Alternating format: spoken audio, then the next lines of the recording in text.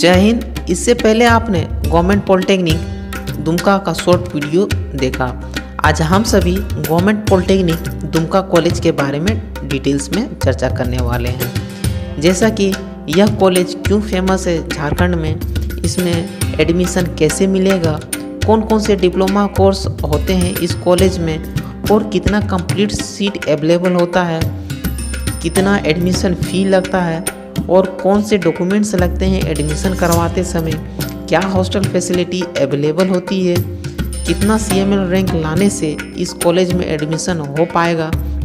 इन सभी चीज़ों के बारे में हम लोग कंप्लीट डिटेल्स में चर्चा करने वाले हैं। मैं आपको अपने चैनल को सब्सक्राइब करने नहीं बोलूँगा। मुझे उम्मीद है कि आपको वीडियो पसंद आने पे आप इसे मेरे चैनल को सब्सक्राइब ज़रूर करोगे। मित्रों किसी भी तरह का डाउट्स या फिर सजेशन होने पर आप हमारे कमेंट सेक्शन में बिल्कुल कमेंट करके पूछ सकते हैं। आइए, पहले हम लोग इस कॉलेज के हिस्ट्री को देख लेते हैं। यह कॉलेज पुराना कॉलेज है झारखंड में। इसकी स्थापना उन्नीस ईस्वी में हुआ। यह दुमका रेलवे स्टेशन से महज तीन किलोमीटर के फासले में ही स्थित है। यानी कि यह रेलवे स्टेशन से महज इसका जो दूरी है इस कॉलेज का, वो थ्री किलोमीटर है। यह कॉलेज झारखंड का फ़ेमस कॉलेज में से एक है, जिसे हर स्टूडेंट पसंद करते हैं। यहाँ पे पढ़ाई भी ठीक होती है। यहाँ पे आपका बायोमेट्रिक क्लासेस होते हैं, यानी कि आपके फिंगरप्रिंट जब आप देते हैं तो वही आपका अटेंडेंस बनता है। पहले का बना हुआ बिल्डिंग जो था, अब उसे पूरा तरीका से नया बिल्डिंग में कन्वर्ट कर दिया गया है। अभी तो कॉलेज में बहुत सारी फैसिलिटीज़ अवेलेबल है। और तो और यहाँ पे गर्ल्स के लिए भी सेपरेट कॉलेज है, जहाँ से गर्ल्स अपना डिप्लोमा कोर्सेज कर सकती है। आइए, अब हम लोग देखते हैं कि इस कॉलेज में एडमिशन कैसे मिलेगा इसके बारे में।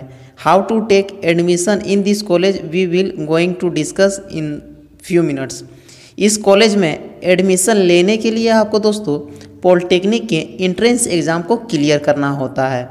और जैसा कि आपको पता है पॉलिटेक्निक एग्ज़ाम देने के लिए आपको सिर्फ़ और सिर्फ़ टेंथ पास होना चाहिए। जब आपका इस पॉलिटेक्निक के एग्ज़ाम में अच्छा रैंक आता है तो आपको यह कॉलेज ईजिली मिल जाता है। यदि हम लोग बात करें कि एडमिशन करवाते समय कौन कौन से डॉक्यूमेंट्स लगते हैं, उनको भी हम लोग एक एक करके देख लेते हैं। तो दोस्तों एडमिशन के टाइम में आपको टेंथ का एडमिट कार्ड टेंथ का marksheet school leaving certificate anti ragging certificate यह जो एंटी रैगिंग सर्टिफिकेट है, वो आप अपने नज़दीकी कोर्ट से बनवा सकते हैं। पांचवा है दोस्तों residential certificate caste certificate income certificate residential certificate इसलिए लगता है क्योंकि उसमें यह देखा जाता है कि आप झारखंड के निवासी हैं या नहीं, तभी जाके आपको गवर्नमेंट कॉलेज झारखंड में मिल पाएगा। फिर है आपका कास्ट सर्टिफिकेट, इनकम सर्टिफिकेट, और आपको पासपोर्ट साइज़ फ़ोटो भी लगते हैं, और साथ ही साथ जो इम्पोर्टेंट डॉक्यूमेंट्स में एक आता है आपका, वो है आपका अलॉटमेंट लेटर। जब आप अपना काउंसलिंग आपका होता है तो उस टाइम आपको एक अलाटमेंट लेटर मिलता है। इस अलाटमेंट लेटर में मेनली आप लिखा हुआ रहता है कि आपको कौन सा कॉलेज मिला है और उस कॉलेज में आपको कौन सा ब्रांच मिला है, वो पार्टिकुलरली मेंशन होता है उस अलाटमेंट लेटर में। तो मेनली यही सारे डॉक्यूमेंट्स आपको एडमिशन करवाते समय लगते हैं। अब जो नेक्स्ट टॉपिक है, वो है आपका, इस कॉलेज में कौन कौन से डिप्लोमा कोर्स अवेलेबल होते हैं और इस कॉलेज में कितना सीट अवेलेबल होता है, इनको भी हम लोग एक एक करके देख लेते हैं। यहाँ पे दोस्तों आपको फोर डिप्लोमा कोर्स देखने को मिलता है।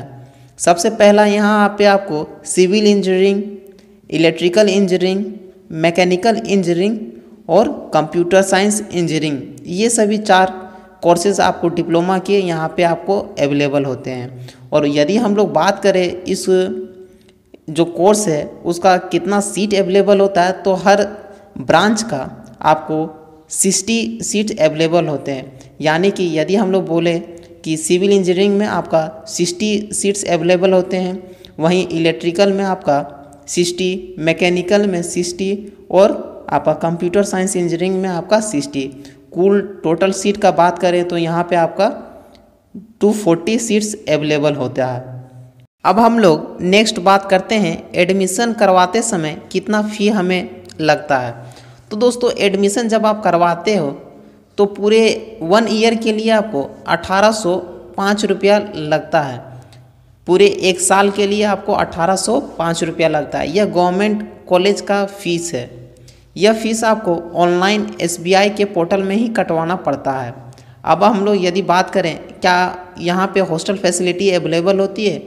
तो दोस्तों, यहाँ पे आपको रहने और पढ़ने के लिए आपको हॉस्टल फैसिलिटी अवेलेबल होती है, जिसका फ़ी भी बहुत ही कम होता है। लगभग ग्यारह सौ रुपया पर ईयर आपको लगता है। यानी कि यदि हम लोग एक महीना का बात करें तो लगभग नाइन्टी वन रुपीज़ आपको पर मंथ हॉस्टल फ़ीस लगती है।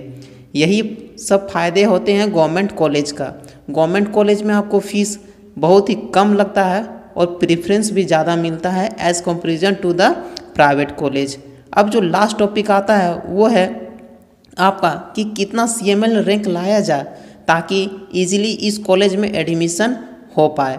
तो दोस्तों, इस कॉलेज में एडमिशन लेने के लिए आपको पॉलिटेक्निक के एंट्रेंस एग्ज़ाम में आपका सीएमएल रैंक वन से लेकर टू थाउज़ेंड के बीच में भी यदि आपका आता है तो आपको यह कॉलेज इजीली मिल जाएगा। उम्मीद करते हैं आपको हमारा यह जानकारी पसंद आई होगी। आप इसे ज़्यादा से ज़्यादा अपने दोस्तों के साथ शेयर करें ताकि उन्हें भी इस कॉलेज के बारे में पता चले। मिलते हैं अगले वीडियो में, तब तक के लिए bye God bless you all Jai Hind.